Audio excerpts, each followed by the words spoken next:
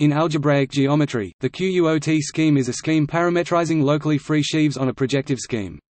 More specifically, if X is a projective scheme over a noetherian scheme S and if F is a coherent sheaf on X, then there is a scheme QUOT F X display style operator name QUOT underscore F X whose set of T points QUOT F X T equals Mor S T QUOT F X Display style operator name QUOT underscore F X T equals operator name Mor underscore S T operator name QUOT underscore F X is the set of isomorphism classes of the quotients of F times S T display style f times underscore st that are flat over T. The notion was introduced by Alexander Grothendieck. It is typically used to construct another scheme parametrizing geometric objects that are of interest such as a Hilbert scheme.